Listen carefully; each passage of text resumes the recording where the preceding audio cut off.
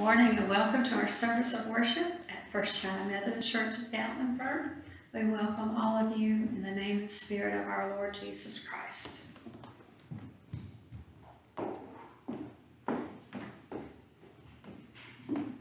We'll need our hymnals for our call to worship and our hymn of praise. So you'll uh, join with me now, turning our hymnals to Psalm 113. You'll find that page 834, 834 for our psalm. And then please remain standing for our hymn number 139.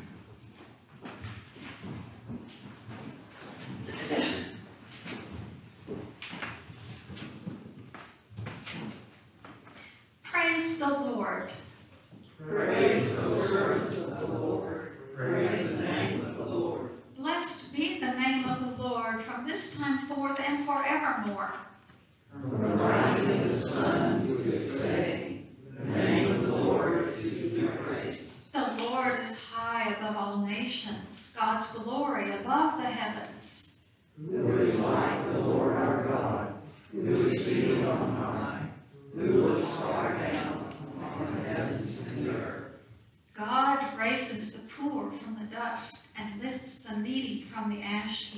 to make them sit with princes, with the princes of God's people.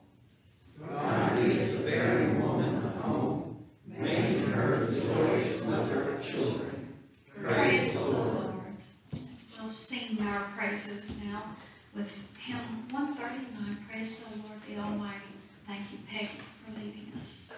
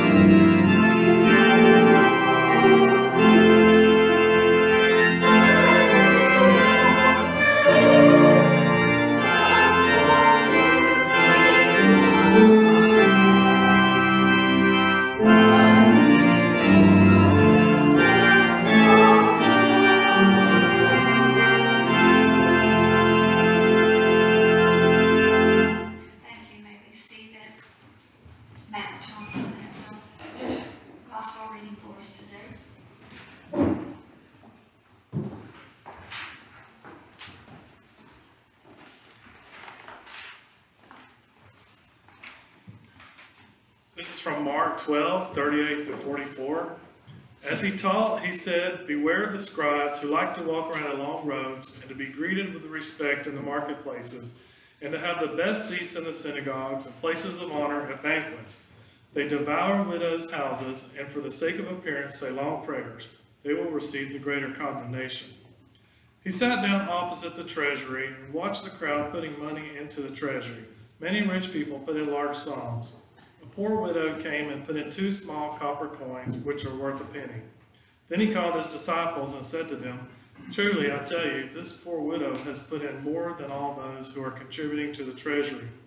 For all of them have contributed out of their abundance, but she, out of her poverty, has put in everything she had, all she had to live on. This is the word of God for the people of God. Thanks be to God.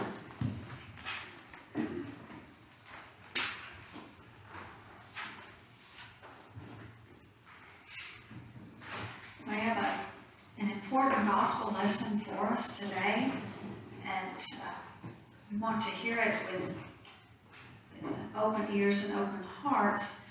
And I say that because, um, well, for several reasons. We always want the Holy Spirit to inspire our interpretation of Scripture.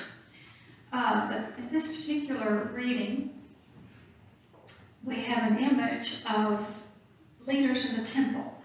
And uh, one of the foremost biblical scholars of our day in the English-speaking world and seminaries is Dr. Amy Jill Levine. Uh, Dr. Levine is a person of the Jewish faith. She's a um, very well-trained scholar in biblical history. And so as we um, those of us who have gone through seminary or any of those who have studied with Dr. Levine or want to read her wonderful books about the New Testament, uh, we want to be aware of her emphasis on the fact that Christians need to be careful how we read texts about Jews mentioned in Scripture. And that uh, sometimes we are well, those Pharisees, well, those Pharisees. And so what can happen is that we develop a prejudice against persons of the Jewish faith.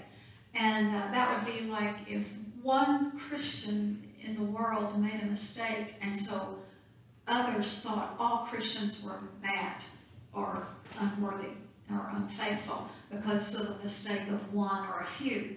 And so uh, Dr. Levine warns us about that. So let's ask for God's um, guidance and understanding how we interpret Scripture, stories from Scripture, and how Jesus interacted with the Pharisees and the scribes, the people of power and prestige and um, a certain amount of wealth and certainly authority in the temple and in society in his day. And uh, so there are some in that text now uh, whose behavior we do not want to emulate. And so uh, we always turn to Jesus to teach us, well, who is a good example that we should follow? And so we look to this woman who was widowed as the one who has the gift of generosity and the gift of faithfulness. Uh, so she is our teacher and exemplar today. Um, now the term poor widow really is a redundant one because all widows in Bible times were poor.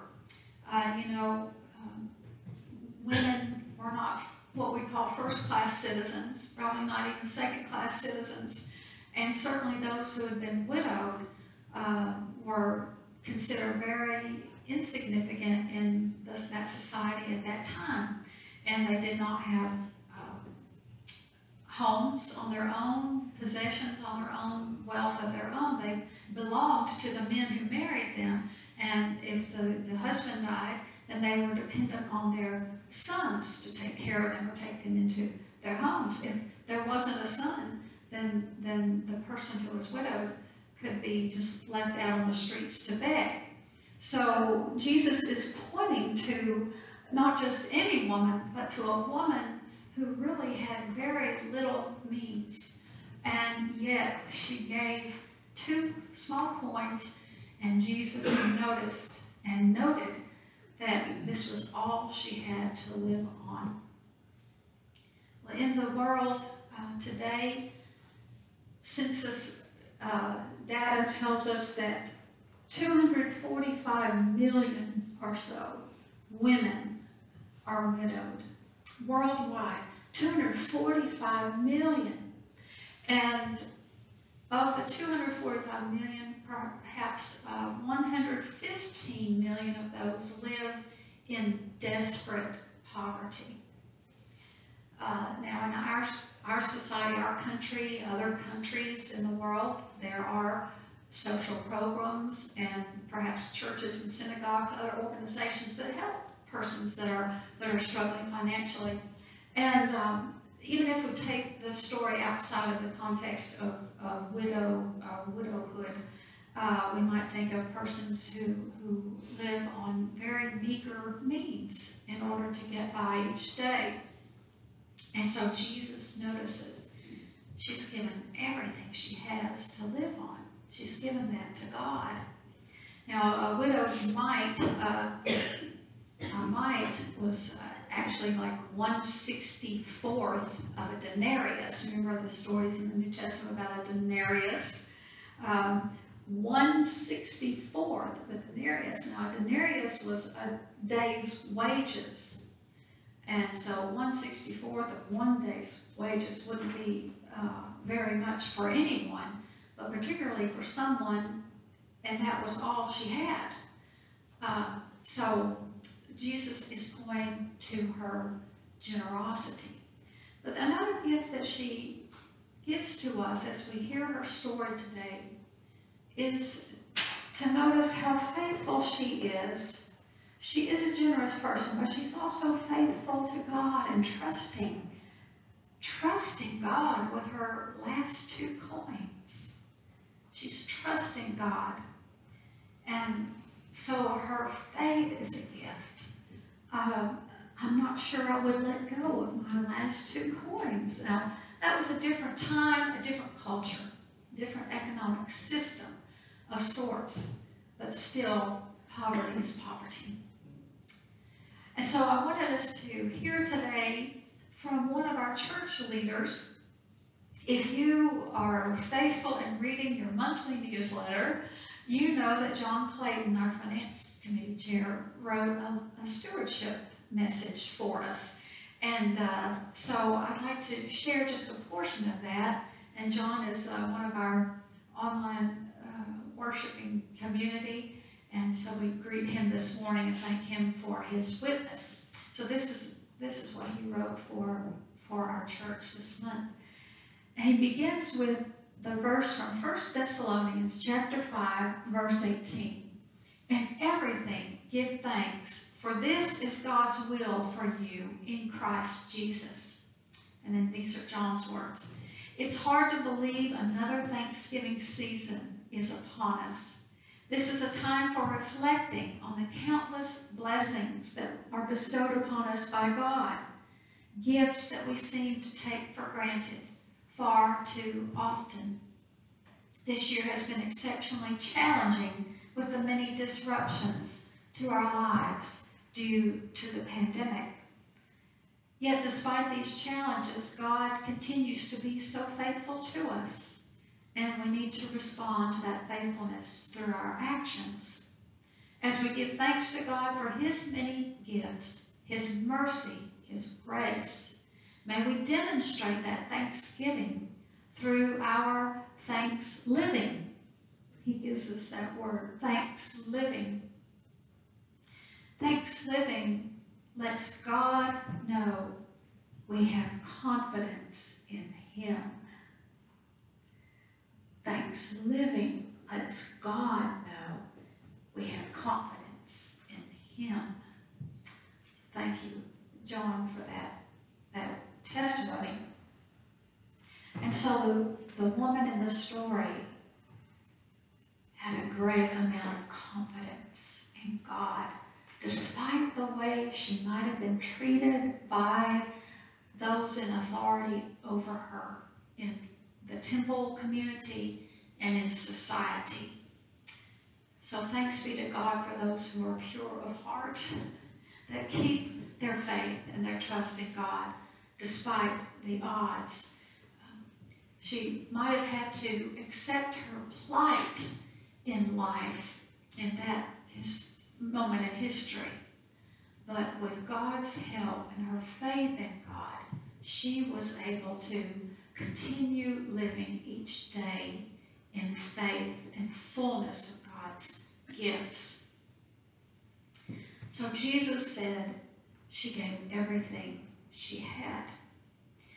I met a woman recently. She's a single person. I don't know whether, I don't know her marital status, and, and that doesn't really matter. Uh, she's a woman working in this world on her own. And uh, she's a woman of some maturity of age. Uh, I don't know her exact age, but she's um, seen a few years, uh, is a grandmother. And I met her recently when I, I was um, visiting. I make visits along the parkway some days. And uh, there's a new place of employment, I won't say which one, uh, just to protect her and, and, and that company. Um, but she had a smile on her face and she was the hostess and was greeting customers very warmly. So I told her I was a local and we started chatting. Well, she asked me about the parking situation downtown and I said, I worked downtown. And she said she has a handicap sticker in her car, on her car, um, but that she had trouble finding a place to park and to get to work on time and without um, injuring herself or causing more pain because she does have some physical dis, uh, disabilities. So she said, instead of paying the $20 parking fee, have you noticed the parking rates have gone up this year on the parkway in town?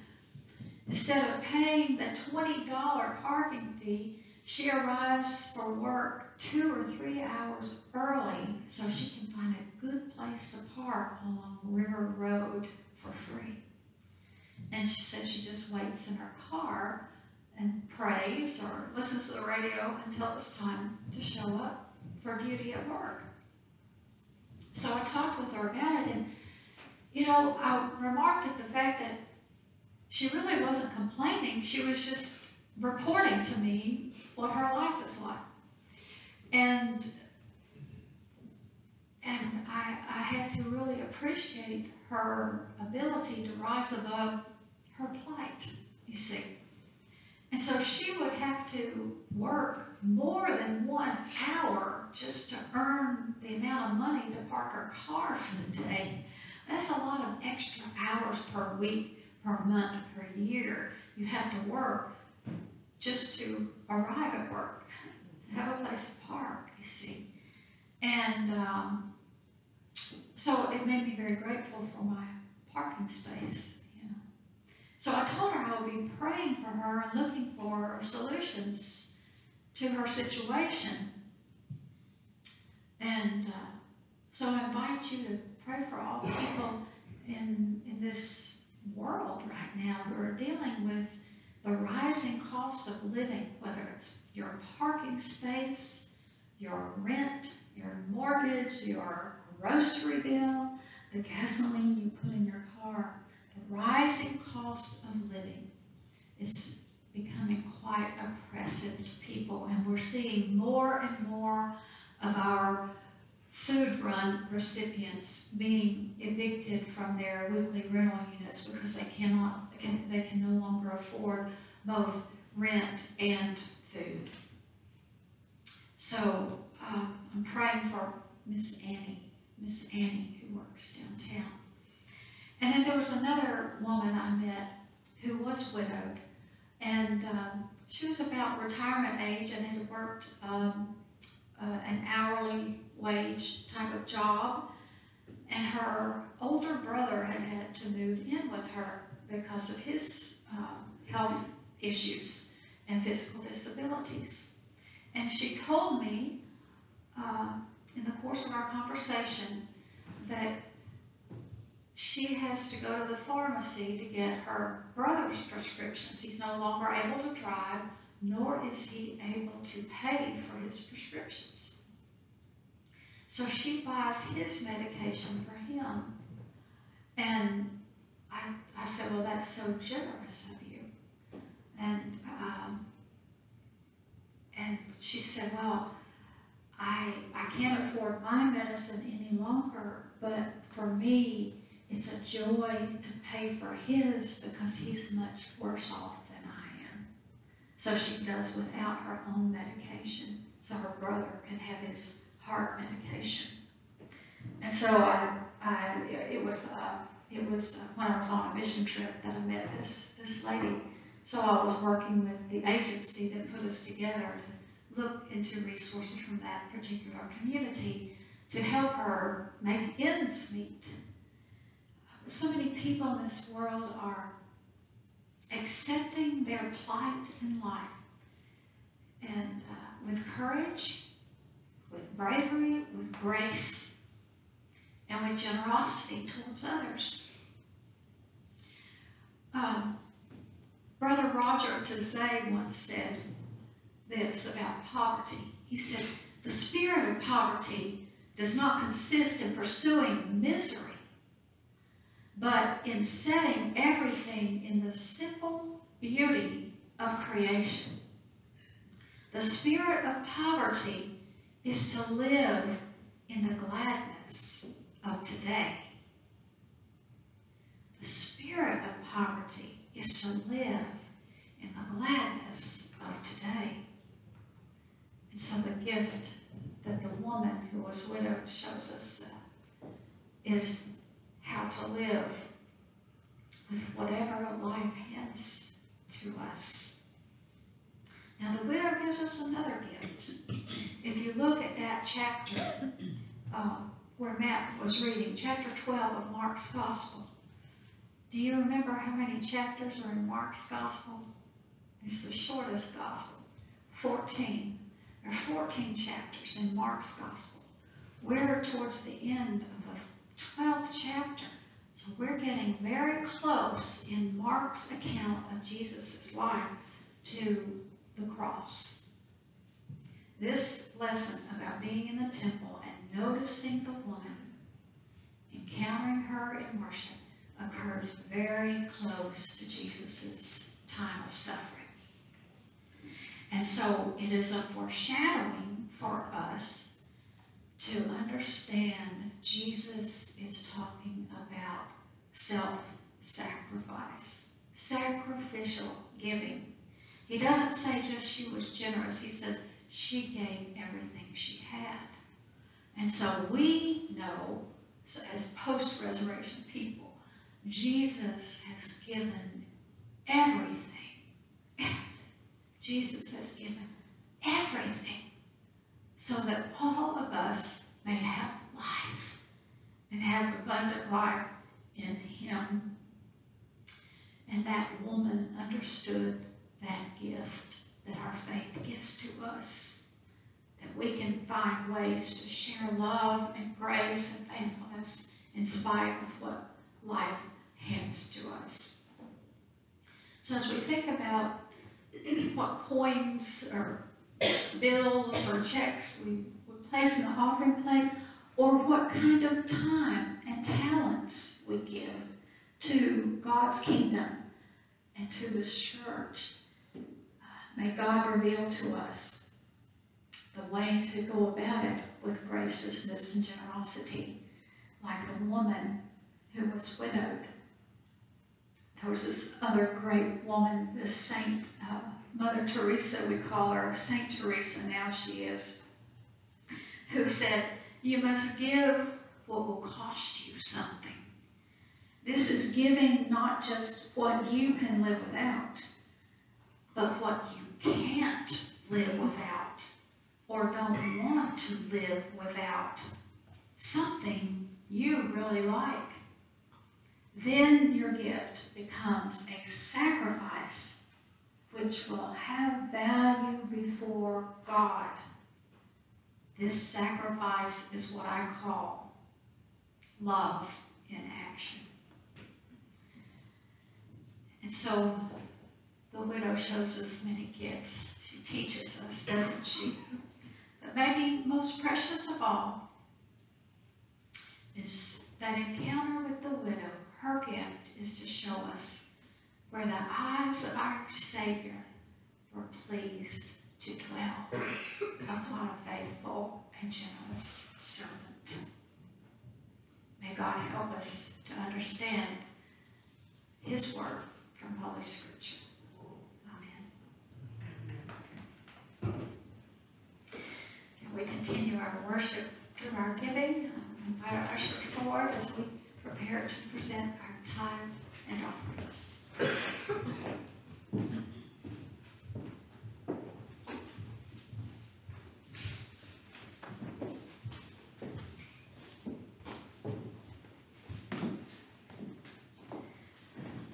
Oh Lord, give us grateful and generous hearts because you are the source of every blessing in our lives.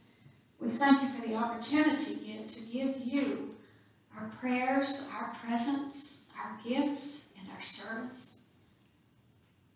May all that we give to you be blessed for the work of your kingdom to reach those who need to experience the abundant life in Christ you promise. In Jesus' precious name,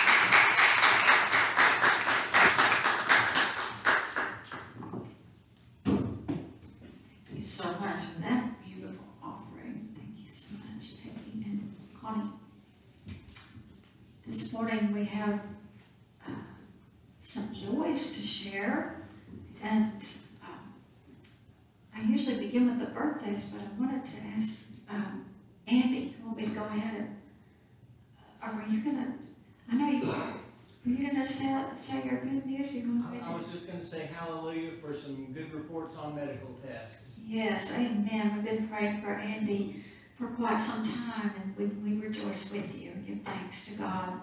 So thankful.